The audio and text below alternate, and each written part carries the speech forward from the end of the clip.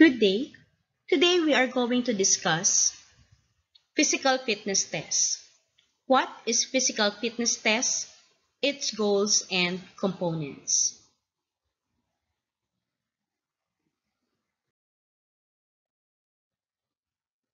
So what is physical fitness test? Physical fitness test is a set of measures designed to determine one's level of physical fitness. It has two components, namely health-related and skill-related tests.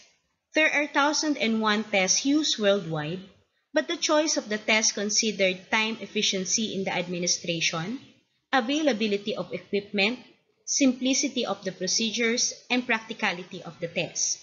In this video lesson, we will only be discussing the health-related components. A separate video lesson will be given for the skill-related components. What are the goals of physical fitness? Number 1. To determine the level of fitness. 2. To identify strengths and areas for development or improvement. 3 to identify basis for physical activities. 4. To gather and analyze data for norms and standard settings. So as you see, we don't do physical fitness tests for nothing. The scores you obtain from doing each test were collected and interpreted. And lastly, to motivate and guide students in choosing sports activity they would like to participate. Part of the physical fitness test, or PFT, specifically skill-related components, is to guide you in choosing sports activity that best suits you. Let's say, for example, if you do well in taking agility tests, most likely, you will perform well in sports which requires you to move quickly and easily, like basketball, soccer, and volleyball.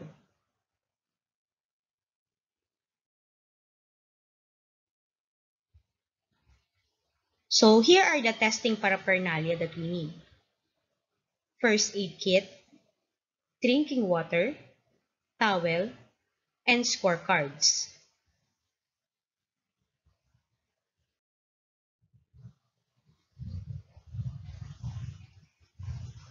For body composition, we use tape measure and weighing scale. For flexibility test, we use tape measure and ruler. For cardiovascular endurance, we use stopwatch, step box, and metronome or clapper. So if you do not have stopwatch, you may use your cell phone. Muscular strength, mat. Speed, we use stopwatch. Again, if you do not have a stopwatch, you may use your cell phone. Power, we use meter stick or tape measure. For agility test, we use tape measure, and masking tape or chalk. Reaction time, we use a 24-inch plastic ruler. For coordination, we use SIPA or any similar local material. So, you can also use a bunch of rubber bands. And for balance, we use stopwatch. Again, if you do not have stopwatch, you may use your cell phone. Sequence in test administration. So, lahat po ng physical fitness test natin ay hindi po natin gagawin ng isang araw lang o dalawang araw lang. Pwede po nating sundin to para alam natin kung ano yung pwede nating pagsabay-sabayin sa isang araw. Okay? So, for day 1, you can do the BMI and the 3-minute step test. For day 2, we have the basic plank, the push-up, zipper test, and sit and reach. For day 3, stick drop test and hexagon agility test. For day 4, we have the juggling, standing long jump, and stork balance stand test. And for day 5, we have the 40 meter sprint. So since tayo po ay nasa bahay at hindi po tayo lahat ay siguradong merong lugar kung saan natin pwedeng gawin tong 40 meter sprint, okay lang kahit hindi nyo na siya gawin. Okay po?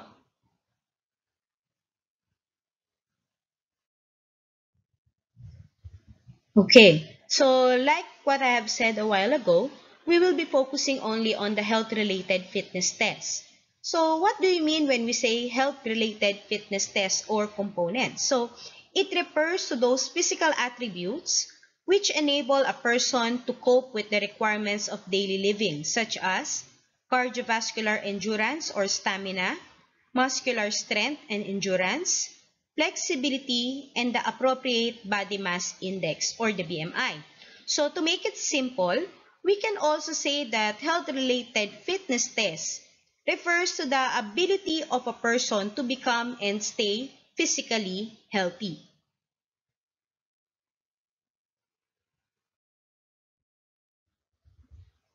The very first one under health-related fitness components is what we call the body composition.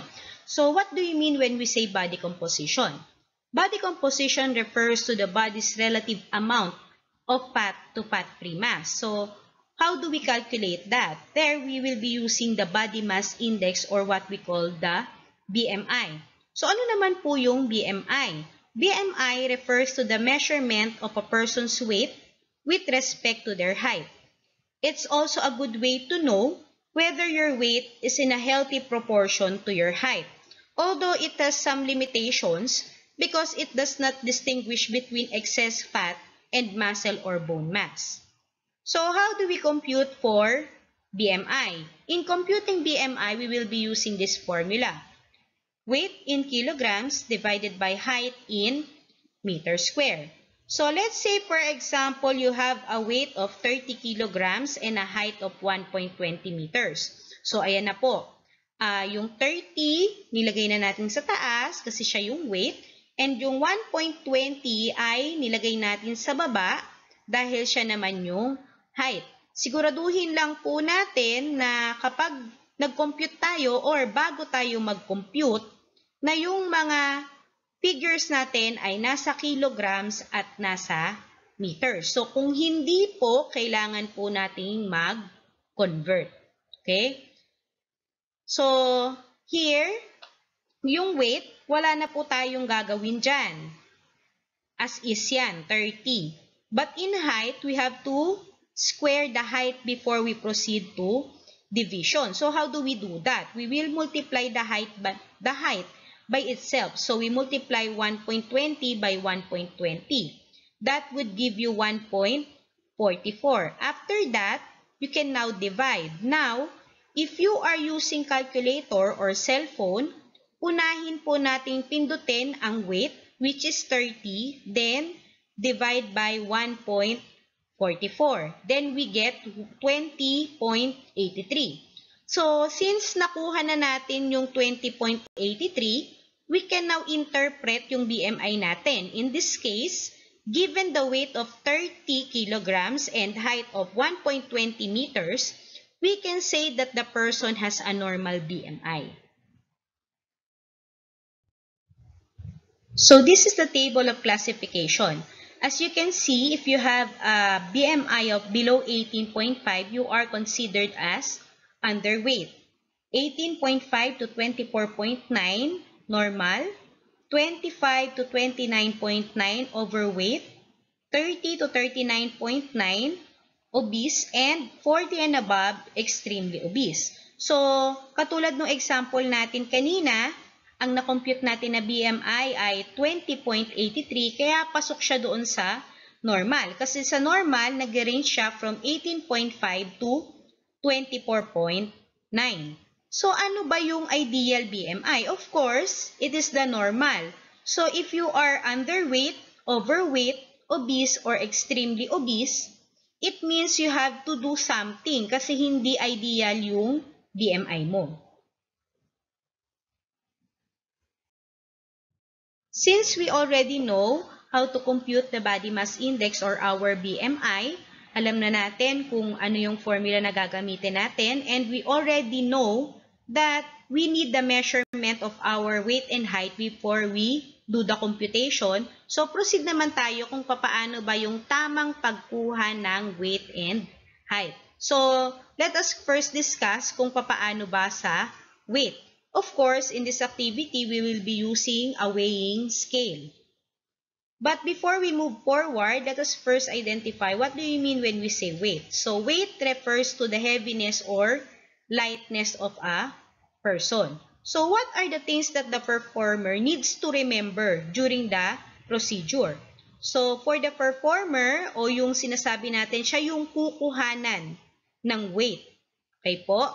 So the very first thing that he needs or she needs to remember is he or she should wear light clothing before weighing. So, kasama na rin po natin dito. So, say, for example, you have coins in your pocket, you have to remove that. Anything that you think can add extra weight, aalisin po natin yon. Okay, next. On bare feet, stand erect and still with weight evenly distributed on the center of the scale. So, if you're wearing socks, okay lang naman po. Normally, if we do that in school, may mga nakasocks naman talaga o nakamedyas naman talaga. But please avoid unnecessary movements at tumayo po tayo ng maayos. For the partner, before the start of weighing, adjust the scale to 0 point. Stand in front of the performer to get the weight. So, wag po tayo sa gilid or sa likod. Doon po tayo sa mismong harapan ng weighing scale. At yung mismong kinukuhanan ng timbang, wag na pong yumuko. Hayaan na yung partner na kumuha ng sukat. Record the score in kilograms. So, let's say for example, hindi in kilograms yung magamit natin then we need to convert. Okay, so scoring record body mass in the nearest 0.5 kilograms. Next is height. Okay, so that is the proper way of getting the height. When we talk about height, it refers to the distance between the feet on the floor to the top of the head in standing position. In getting height, we will make use of the following. We need a tape measure, L square, and an even and firm floor and flat wall. Okay, so dun po sa tape measure or sa meter stick, kahit ano doon ang gamitin ninyo, kailangan po yung 0 point, yun yung nasa baba. At dun naman po sa L square, if ever na hindi siya available, you can make use of ruler. Kaya lang po, kapag ginamit natin yung ruler, sisiguraduhin lang po natin na ang posisyon ng ruler ay nakaganito. Okay? So, hindi po siya pwedeng naka ganito. At kapag gumamit tayo ng ruler, kailangan, kapag nakapatong sa ulo, kailangan naka-straight po ah. Hindi pwedeng nakaganyan, hindi pwedeng naka ganito. Kailangan makikita nyo na straight yung ruler. Tapos, ang gagamitin po natin kapag tayo ay kumukuha ng height, yung nasa baba. Siyempre, kung ano po yung nakapatong sa ulo, yun po yung kukuhanan natin ng sukat. And of course, bago tayo magpatuloy, um, before we get the height, lalo-lalo na po sa mga babae, kung masyadong mataas ang ipit sa buhok, pakitanggal po. Sa mga lalaki naman, kung halimbawa naka-gel, eh, hindi po pwede doon mag-uumpisa. Kailangan, maramdaman na sa mismong ulo nakapatong yung L square or yung ruler natin. Okay, for the performer, stand erect on bare feet with heels, buttocks, and shoulders pressed against the wall where the tape measure is attached. So, wag po tayong nakaslouch ha. Kailangan diretso ang tayo natin. And For the partner, place the L square against the wall with the base at the top of the head of the person being tested. Make sure that the L square when placed on the head of the student is straight. Yan, katulad po na sinabi natin kanina. And parallel to the floor. The L square should be straight and parallel to the floor. L square or ruler. Anything will do. Measure the height from the base of the L square. So, kung ang L square, yung sa L square po natin, yung pinaka baba. Record the score in meters. So, dun po sa ating ano, sa ating panukat, dun po sa tape measure or sa meter stick, ang makikita po nating mga measurement doon ay inches and centimeter. So, I suggest, para mas madali po tayong mag-convert, gamitin po natin yung centimeter. Kasi kung halimbawa centimeter ang gagamitin natin, alam naman natin na 1 meter is equal to 100 centimeter. So kung halimbawa yung makuha natin ay 125 centimeter, syempre ang gagawin lang natin doon, gagawin lang natin siyang 1.25 meter. Okay po?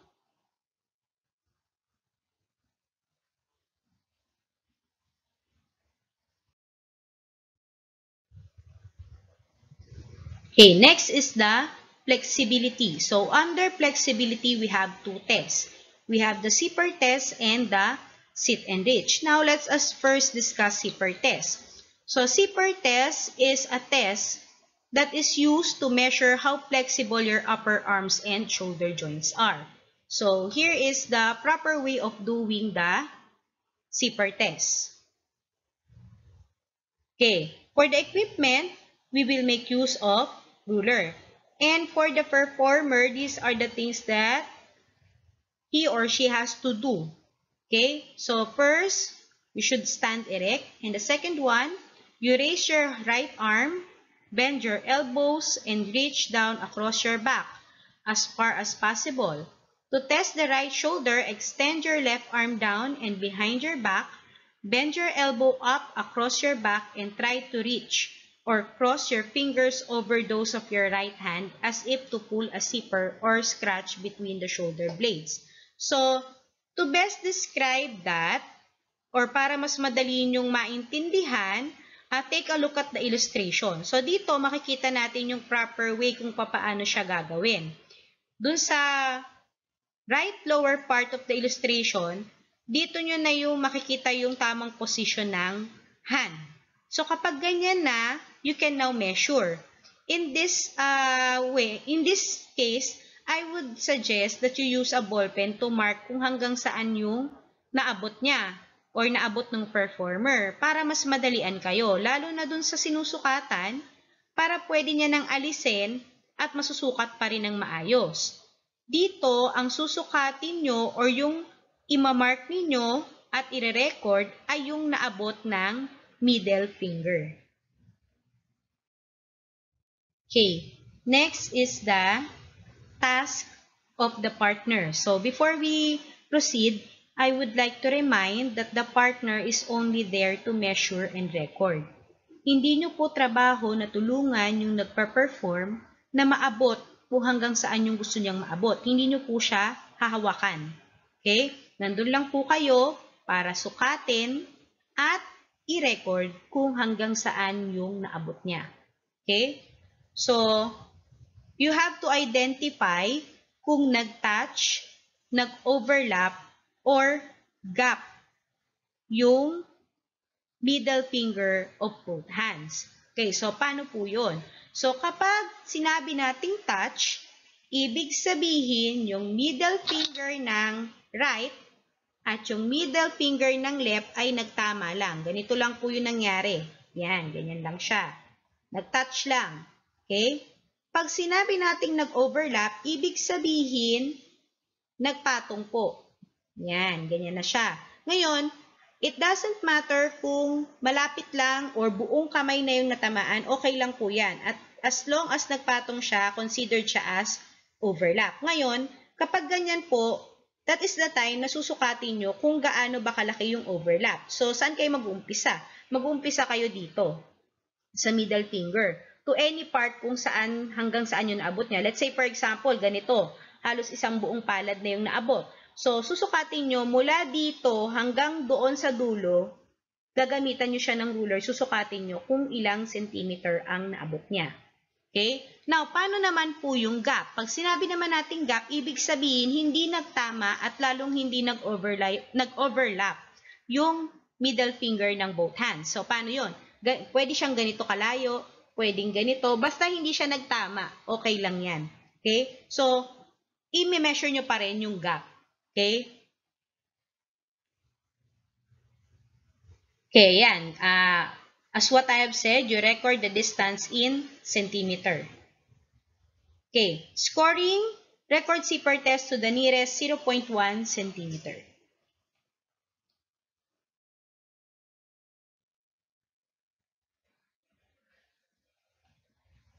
Okay, so this is the table on how you are going to obtain scores maliban sa actual score in centimeter. So kapag 0, did not touch the fingers. So ito yung tinatawag natin na ano, gap. Okay? So ibig sabihin hindi nagtama yung fingers ng dalawang kamay nyo. Then number 1, just touch the fingers. Yung katulad nung pinakita ko kanina, nagtama lang. Ganyan lang siya. Then, fingers overlap, yun na, yung lumagpas na. So, may sukat yan. Kung 1 to 2 cm yung overlap, syempre makukuha nyo yan by using ruler. Ang score niya ay 2. Fingers overlap by 3 to 4 cm, score is 3. 5 to 7 cm, the score is 4. And of course, if the fingers overlap by 8 cm and more, or more, the score is 5. Okay, so now we do the flexibility test of the lower back and hamstring muscles. So in order to do that, we use the sit and reach. So this is the proper way of doing the activity. For the equipment, we make use of tape measure or meter stick. And these are the things that the performer needs to do. The very first one, the performer should sit on the floor with back, head, and shoulders flat on the wall pitch should be 12 inches apart. So, isang ruler. May kita nyo yan dun sa upper left illustration. Yan, ganyang kalayo. Then, interlock thumbs and position the tip of the fingers on the floor without bending the elbows. After the partner has positioned the zero point of the tape measure, the pupil or the student starts the test by sliding the hands slowly forward without jerking trying to reach the farthest point possible without bending the knees. Bouncing or jerking movement is not allowed and you should do it twice. So, dito, before we do the actual test, kinukuha muna yung zero point ninyo. So, iba-iba yan. Kaya kung mapapansin ninyo, kung nagawa nyo na to dati, hindi nakafix yung meter stick sa floor. Kasi susukatin pa yan kung hanggang saan ang abot ng middle finger nyo. So kung saan yung abot yon ang magiging zero point. In the normal setting, gumagamit ako ng folder or anything na matigas na pwede kong ilagay sa meter stick. Makikita nyo yan dyan sa lower right ng illustration. So bakit gumagamit niyan? Ang purpose ng folder or anything na matigas na ginagamit ko kasama ng meter stick ay para masukat ng maayos kung hanggang saan ang naabot ninyo. Kung minsan kasi, di ba, nakakaramdam kayo na masakit na yung likod, gusto nyo nang umangat, minsan biglang naangat yung performer kasi hindi niya nakaya, hindi na nakita o nahabol ng nasukat kung hanggang saan yung naabot nyo. So, sayang naman siya kung uulitin nyo pa. So, yung folder, ipupush nyo lang yon para kahit umangat kayo, may iwan pa din yung folder kung hanggang saan yung naabot ninyo. At masusukat siya ng maayos.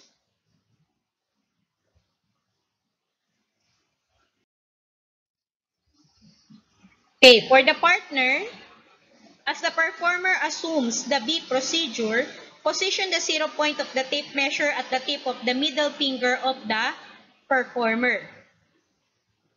See to it that the knees are not bent as the performer slides the farthest distance that he could. Record the farthest distance reached in centimeters. And the scoring, the record Re, uh, you should record the farthest distance between the two trials to the nearest centimeters. So, let's say na nagbend yung knees, you remind the one taking the test, ha? You do not hold the knees or ipitin para hindi magbend. Yung iba kasi, ang ginagawa, hinahawakan o kaya inuupuan, wag niyong gagawin yon ha? And of course, pag nakita niyo na nagbend yung tuhod niya, hindi niyo yun i-record. It should be repeated.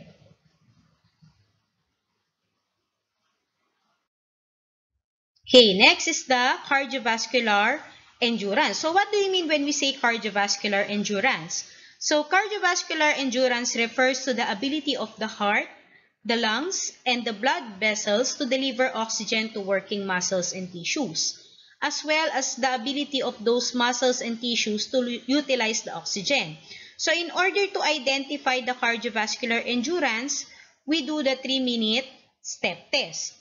So for the equipment, we make use of step. So, dito, of course, we have to consider the level of students in identifying the height of the step. So, for elementary students, we make use of step with a height of 8 inches. And for the secondary, we have a step with a height of 12 inches. Next, we use stopwatch. O kung halimbawang wala po tayong stopwatch, we can make use of our cellphone since meron naman siyang stopwatch. Then, we use clapper or metronome with speaker or any similar device. So, ano po ba yung metronome? So, ang metronome, it is a device that we can use to mark exact time. So, by beat po yun. For every beat, isang galaw, makikita natin yan sa susunod na slide. Okay, so ito po yung um, illustration kung papaano ba ginagawa yung 3-minute step test. Okay, so these are the things that a performer needs to do. So before you do the activity, kukunin po muna natin yung ating pulse rate. So, kung ano yung mas madali sa inyo, by car carotid pulse or radial pulse, okay lang. It's just the same. Then, second, you have to stand at least one foot away from the step or bench with trunk erect and eyes looking straight ahead. The next one is the first step of the sequence should be alternate. Okay? At the signal go, step up and down the step. Bench for 3 minutes at a rate of 96 beats per minute. One step consists of 4 beats. Ito yung sinasabi natin kanina, kaya tayo gumagamit ng metronome or clapper. That is, up with the left foot, count 1. Up with the right foot, count 2. Down with the left foot, count 3. Down with the right foot, count 4. That is for the first sequence. Then, for the second sequence, up with the right foot, count 1. Up with the left foot, count 2. Down with the right foot, count 3. Down with the left foot, count 4 for the second sequence. Observe proper breathing. Inhale with the nose, exhale through the mouth. So, kung mapapansin nyo, um, alternate yung paggawa natin. Kung ang unang ginawa nyo, ang unang yung iniangat, ay yung left foot, sa susunod ay yung right foot naman. Okay?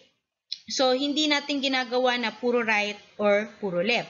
Then, let's say for example, ang una nyong iniangat ay yung inyong left foot, kailangan ang una nyo ring ibababa ay yung inyong left foot. Okay? So, same as what we have seen in the second illustration. Ganyan siya.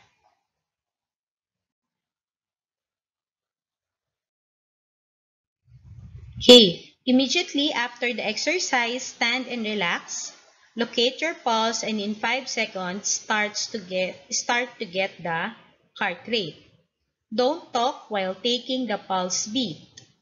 Count the pulse beat for 10 seconds and multiply it by 6. Okay, for the partner, as the student assumes the position in front of the step, signal ready and go. Start the stopwatch for the 3-minute step test. Okay, so it only means that the performer should wait for her or his partner to signal ready and go. So, kapag narinig niya yung ready, it only means na kailangan maging alert na siya, yung performer, na anytime pwede nang magsabi yung partner niya ng go at kailangan niya nang mag-start ng activity. So, at the same time, the partner must see to it na pag nagsabi siya ng go, kasabay nung pagsabi niya ng go, pipindutin niya na yung stopwatch at pagaganyan na, papaganahin niya na yung metronome. Okay? Or yung clapper. After the test, allow performer to locate his or her pulse in 5 seconds. So, dito, let's say for example, natapos na yung 3 minutes. So, ibig sabihin, stop na rin yung activity. The moment that the partner says stop, bibigyan yung performer ng 5 seconds to locate his or her pulse, whether carotid or radial pulse, katulad ng nakikita nyo sa illustration. Then, kapag na-locate na in 5 seconds, that is the time wherein magbibigay na yung partner ng signal na kailangan ng bilangin nung performer yung pulse beat niya for 10 seconds. Then, let the performer count his or her pulse beat for 10 seconds and multiply it by 6. So, kung ilang pulse beat yung mabibilang nyo in 10 seconds, imumultiply nyo lang siya by 6. Tapos, yun na yung i-record nyo sa nakalagay na column for after the activity. Scoring, so record the 60 second heart rate after the activity. So yung 60 second, it is the same as the nagbilang kayo ng pulse beat for 10 seconds and multiply it by 6. Ginagawa lang yon kasi steady naman yun eh, parehas lang ang makukuha nyo. Pero if you wish to do the 60 seconds na talaga magbibilang kayo ng 1 minute, ayaw nyo yung 10 seconds multiply by 6, it's, it's up to you. Walang problema doon. It's the same.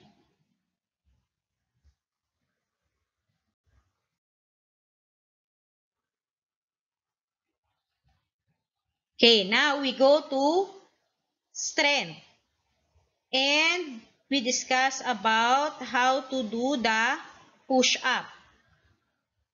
Okay, so for the equipment, we are going to make use of exercise mat or any clean mat. Kung ano po yung available, walang problema. Basta, wag lang po yung madulas. Okay? Kailangan nakaano, kailangan na lumalaban siya sa sahig, lalo na kung naka-tiles po tayo sa bahay. Then, for the performer, these are the things that you have to remember.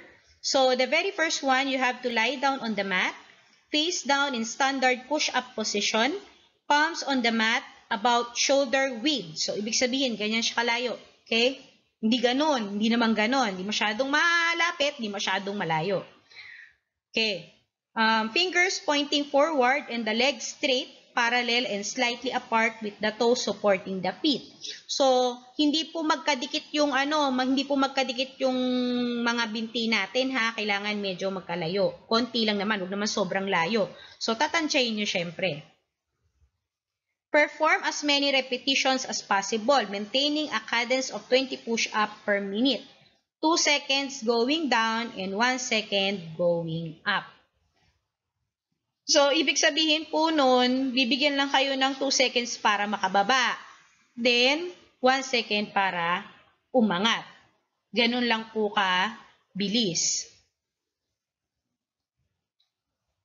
Okay, so dito, may kita nyo, kailangan po pantay mula ulo hanggang sa legsa. Hindi pwede na naka, nakaumbok po yung kweta natin. Kailangan ganyan yung itsura niya. Actually, hindi pa nga perfect na perfect yan. Eh, dapat medyo mababa, mababa pa yung kweta niya.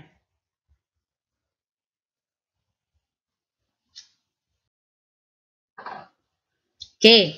So, ayan. So, as you can see, iba po ang position ng boys sa girls. Iba po yung paraan ng pagpupush up ng babae sa lalaki. So, for boys, straighten the arms, keeping the back and the knees straight. Then, lower the arms until there is a 90 degree angle at the elbows. Upper arms are parallel to the floor. For girls, with knees in contact with the floor. So, ito yun ha. Ito yung pinakaiba niya. Yung lalaki, ang may contact lang sa ano sa floor yung kanyang palm at yung kanyang toes. Pero sa babae, ang may contact naman ay yung palm at yung knee. Okay? With knees in contact with the floor, straightens the arms, keeping the back straight, then lowers the arms until there is a 90 degree angle at the elbows. Upper arms are parallel to the floor.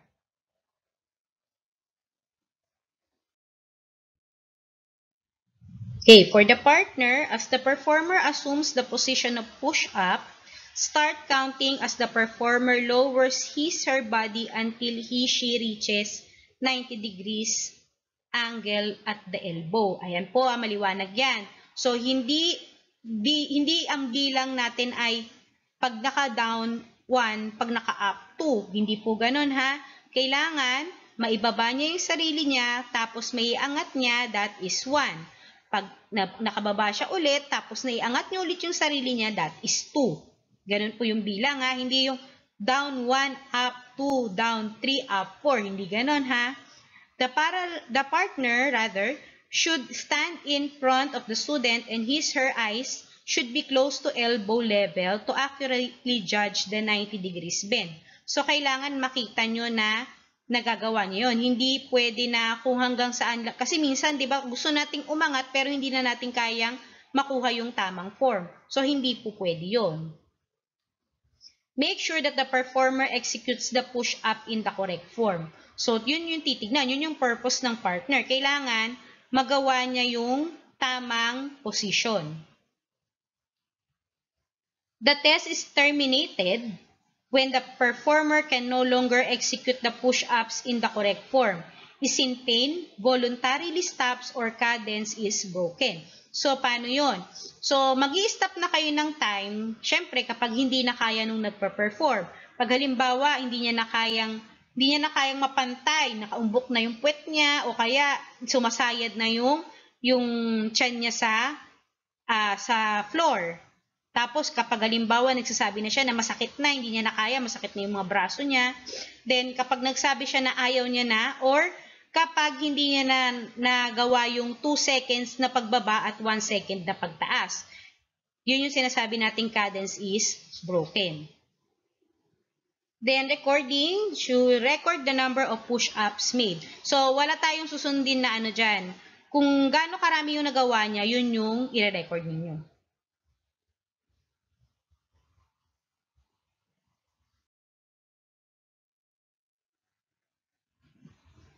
Okay, so again, uh, strength pa rin tayo, but in this case, we are going to discuss about the basic plank.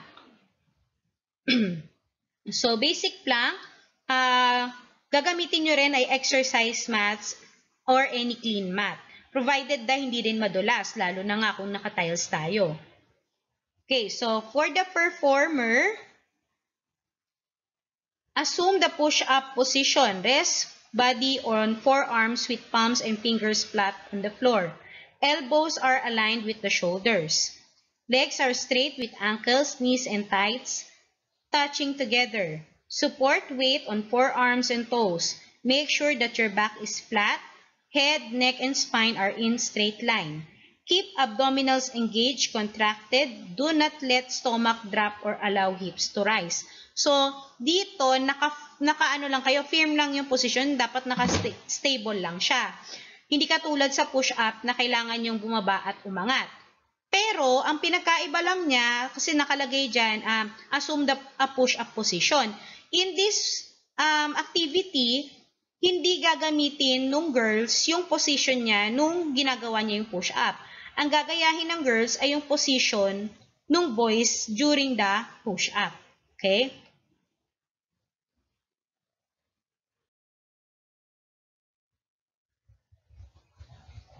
For the partner, ensure the availability of mat, smooth flooring, or anything that can protect the forearms. Yan. Kasi, ito, naka, nakababa kasi to eh.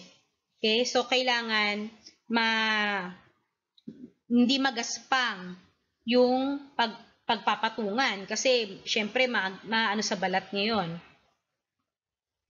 Then, give the signal start go and start, press the timepiece. So, dito gumagamit din tayo ng stopwatch. Hindi na-mention kanina dun sa equipment, hindi ko siya naisama. So, dito gumagamit din ng stopwatch. Magsasabi din kayo ng start or go, yung partner. Yun yung aantayin ng uh, performer. Then, pagkasabi nyo ng start or go, at the same time, kailangan na pindot nyo rin yung stopwatch.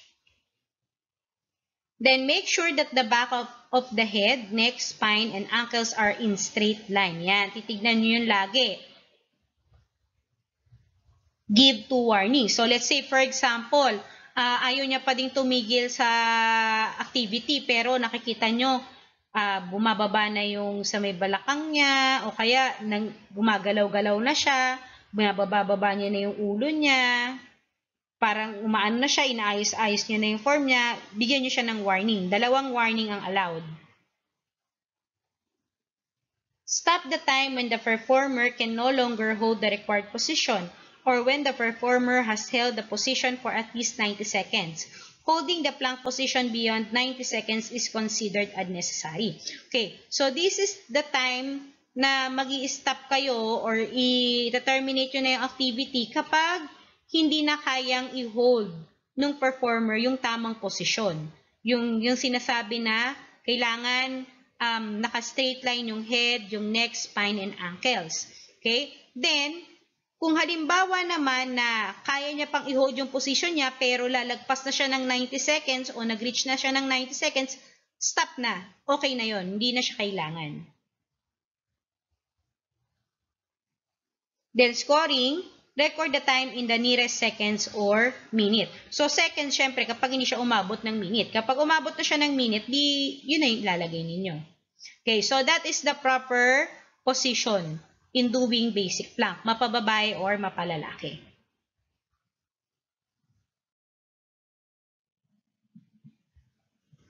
Okay, so this is the scoring matrix. So, 0 if the performer cannot hold. Yung umpisa pa lang, hindi niya na talaga kaya. Okay? Yung bumagsak na talaga siya. Then, 1 to 15 seconds na naka-hold siya. 1. 16 to 30 seconds, 2, 31 to 45 seconds, 3, 46 to 50 seconds, 4, and 51 seconds and above, 5. So, dito, 51 seconds hanggang 90 seconds yan, 5. Kapag kasi 90 seconds na, tama na, hayaan nyo na siya, tapos na yon. Okay, thank you for listening. So, I hope uh, before you do the activity, you take note of all the reminders and follow correct procedures. So this video is intended, or this video lesson rather, is intended to guide you on how you are going to do the health-related physical fitness test. So a separate video for the skill-related fitness test will be given to you. So hanggat wala pa siya, ito na lang muna yung unahin natin. And please ask for assistance. So kung napapansin nyo, lahat ng activity ng physical fitness test ay merong task ang partner hindi nyo po siya pwedeng gawin mag-isa. So, uh, at this point, you have to ask for the assistance of your parent, your guardian, or sibling, kung sino man yung available para mag-guide kayo at para magawa nyo siya ng tama. Kasi you have to perform and you have to record, you have to count. So, hindi nyo siya pwedeng gawin mag-isa. So, you ask for assistance. Okay, so, thank you very much and have a good day.